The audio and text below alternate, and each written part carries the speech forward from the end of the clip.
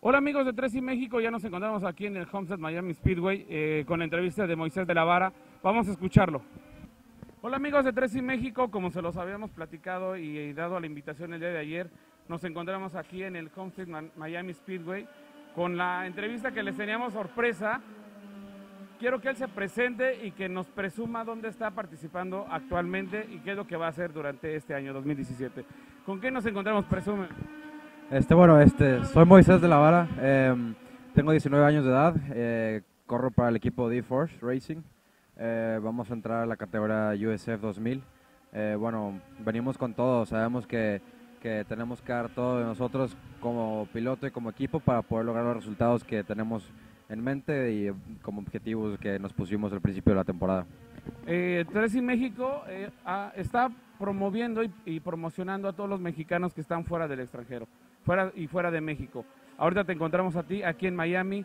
Platícanos eh, la categoría en la que, y el tipo de auto en el que estás participando.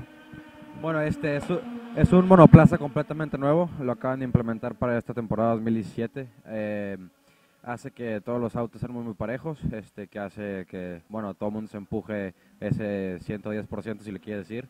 Eh, es muy, una, una categoría muy, muy competitiva, con pilotos de todo, el mundo, de todo el mundo y bueno, eh, aquí queremos destacar para poder poner el nombre de México en alto. En México eh, te hemos visto participar en lo que es eh, la, eh, en la Fórmula 4, pero en, circui- en, en circuitos precisamente. Ahorita estás en óvalo. ¿Cuál es la diferencia? ¿Cuál es la experiencia de, de correr ahora en, en, en- en óvalo? Bueno, este, el setup del carro es completamente diferente, este, el manejo es diferente. eh, es una experiencia nueva para mí, yo nunca había corrido en un óvalo. Eh, la neta, eh, la verdad me está agradando mucho y, y- y bueno, este, siento que tenemos que aprender varias cosas todavía, pero bueno, eh, sabemos que lo vamos a lograr. Debimos iniciar desde hace mucho tiempo ya. Y como dices tú, la experiencia que, que te ha dado para poder llegar a Estados Unidos, estar en un gran equipo. Pero es complicado eh, y sabemos que es difícil elaborar un plan de trabajo para poder enamorar y atraer a patrocinadores. ¿Quiénes son los que te están respaldando presente para poder estar aquí y correr en, este, en, en este circuito? Bueno, este, la mayoría de- del apoyo viene de mis padres. Este, también le quiero dar un, gran agradecimiento a UAG, AIP, Su- Sushi y Dulces de la Rosa. Este, sin ellos no se podría lograr nada de esto y, bueno, son los que la verdad son los que me dan la, el gusto de poder correr en una categoría como estas. ¿Te Vamos a seguir viendo participar también en la Fórmula 4 en México.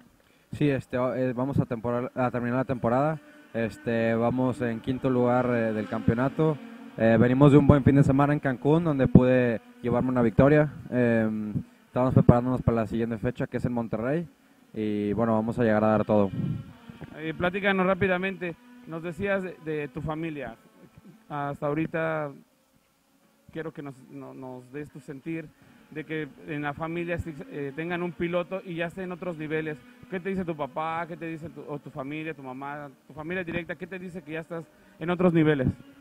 Bueno, este, ellos me vieron crecer desde el kartismo, eh, me apoyaron desde que me empezó a gustar el deporte de motor y eh, cada paso me han estado apoyando y la verdad no se puede sin el apoyo familiar, este, todos mis hermanos, mis tíos, mis abuelos, todo, la neta, este, bueno, no, no se puede sin ellos. ¿De dónde eres originario de- o de dónde eh, son tus papás? Este, bueno, yo y mi mamá somos de Guadalajara, Jalisco, mi papá es de Sonora. Em, sí. Eh, precisamente, bueno, hemos, eh, te hemos escuchado ya de- hablar del, del auto, de dónde estás participando. Ahora, ¿qué opinas de que se le esté abriendo las puertas a los mexicanos en otros países precisamente para demostrar que en México eh, los, los pilotos son de calidad? Sí, bueno, lo que queremos dar, la impresión de que en México hay mucho talento. Este, queremos llegar a- al nivel mundial y, y, bueno, como la Fórmula 1 y enseñar que México también tiene. Em, siento que se necesita mucho apoyo de la gente y del gobierno que, y que vean que sí se puede lograr más que todo. Eh, lo que, lo que queremos agradecerte eh, el espacio, digo, también a la gente de- de- del Homestead Miami Speedway por habernos invitado. Nos, comentaron que había un mexicano aquí haciendo pruebas y decidimos, no la pensamos dos veces, nos dijeron los horarios y aquí estamos.